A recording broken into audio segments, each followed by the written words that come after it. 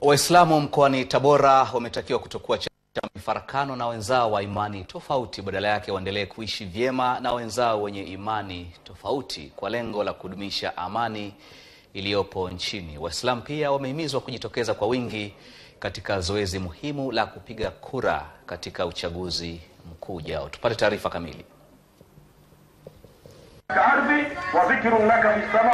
Na ni utaje mtukufu katika mbingu yake Mwenyezi Mungu Subhanahu wa Ta'ala.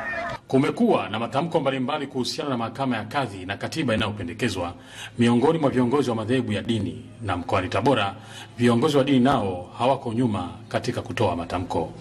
na sisi Waislamu tutaendelea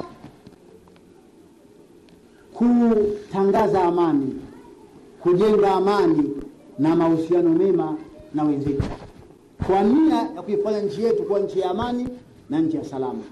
Sawa Waislamu eh?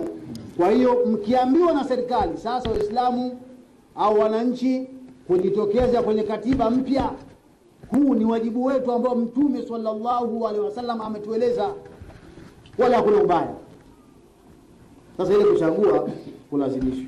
Katika Uislamu sheria za nchi zinatambuliwa na kamwe hazipuuzwi.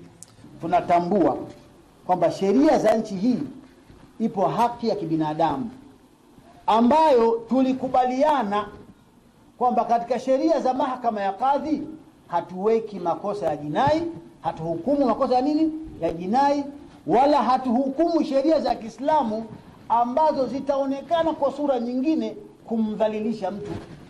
Waumini wa dini ya Kiislamu wametoa maoni yao. Nashukuru viongozi wetu wametuhamasisha kuingia katika jambo ambalo litaiweka nchi kuwa katika amani. Waislamu na wale ambao si Waislamu wasiogope mahakama ya kadhi. Waumini wa dini mbalimbali mkoani Tabora wanataka kuvumiliana miongoni mwao kwa vile Mungu ni mmoja, wakisema hakuna sababu ya kufarakana kwa misingi ya imani.